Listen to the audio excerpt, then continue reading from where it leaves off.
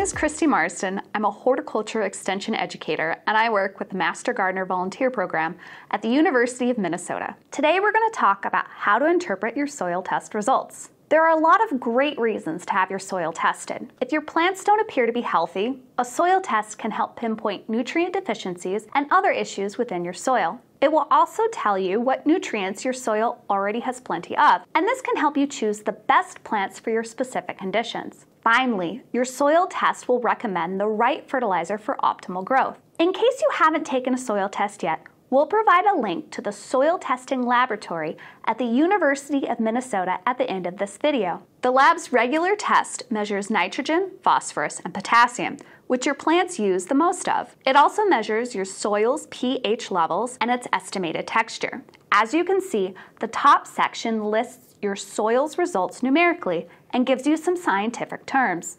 The interpretation section in the middle puts those numbers into context using visual guides. The recommendations section at the bottom is especially helpful. The Soil Lab provides nutrient and fertilizer recommendations that are tailored to your soil. The rest of the page and on the back have more explanations about your results. Let's walk through these results together one at a time. As we said, the three nutrients your plants need the most of are nitrogen, phosphorus, and potassium, NPK. Let's start with your nitrogen levels. Nitrogen helps promote leafy growth in the plant. Interestingly, we don't actually measure nitrogen directly. Instead, we measure the percentage of organic matter in the soil, which gives us our nitrogen. Organic matter is material that will break down over time and make nitrogen available to plants through that process of being broken down by all kinds of organisms within the soil. Next up is phosphorus. Phosphorus supports root growth and fruiting in the plant, and the number can be found here. Let's spend some time talking about phosphorus. Phosphorus is of course important for plant growth, but if you apply too much phosphorus to your garden, it will escape into streams and waterways. This is very bad for the larger ecosystem. The last of our three macronutrients is potassium, which supports disease resistance and plant hardiness.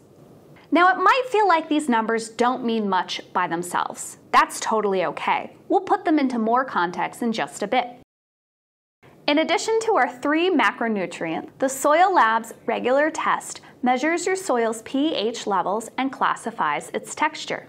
When looking at pH, the lower the number, the more acidic the soil is, and the higher the number, the more alkaline the soil is. pH can be really important if you're seeing nutrient issues in the garden because sometimes a high or a low pH can actually inhibit the uptake of different nutrients into the plant. So for example, sometimes what looks like iron chlorosis is just that the pH is such that the plant can't actually take iron from the soil into its leaves. So this information is really important to know so that you can choose plants that will best grow in your soil conditions.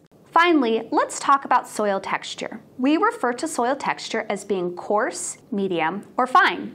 A coarse soil will likely be more sandy, a medium soil is going to be more loamy, and a fine soil will have more clay in it. Since raw numbers might not mean much by themselves, your lab report interprets them using these visual guides. For example, the phosphorus is medium, while the potassium is closer to low but still in the medium range. One of the more important ones to look at is phosphorus. If you have high or very high amounts of phosphorus in your soil, you're going to want to make sure that you don't over apply phosphorus in the type of fertilizer you choose. Now, what does this mean? especially for your soil. Now we're into the recommendations section, which is where your results page comes in particularly handy. Let's go right to this ratio. Here's the ratio of nitrogen, phosphorus, and potassium that the Soil Lab has determined your soil needs for optimum plant growth. All fertilizer bags are going to have an NPK on the front. All you have to do is match up your recommended ratio to the one that's close. Since everyone's needs are a little different, it is very likely that you won't find an exact match at the home center. In that case, match nitrogen as best as you can without going over on phosphorus. So for example, if your report recommends 10, 15, 5, but your choices are 10, 25 and 9, 12, 5, choose the 9, 12, 5. The first number, nitrogen, gets close without going over on the second number, phosphorus. Potassium isn't an environmental concern like phosphorus is. It's fine if you have your K number go a little over. Now, if you want to use compost as a fertilizer in your garden, You should be careful because sometimes compost can have high levels of phosphorus. For instructions on how to apply your fertilizer, follow the instructions on the bag. You can also reach out to a Master Gardener volunteer. The Soil Labs website has resources like fertilizer calculators, and again, that link will be at the end of the video. It can seem really intimidating looking at this, but don't be afraid. The information provided on this soil test result is here to help you be able to garden and feed your plants to the best of your ability. Here are a few big picture takeaways to keep in mind. Most of the time when we're looking at plants, we'll see a nitrogen deficiency, which is why we focus so heavily on making sure you match that nitrogen recommendation as closely as possible to what fertilizer you choose. Especially in a vegetable garden, your plants will be using a lot of nitrogen throughout the growing season, so you'll really want to pay attention to how your plants are growing with the fertilizer that you're using.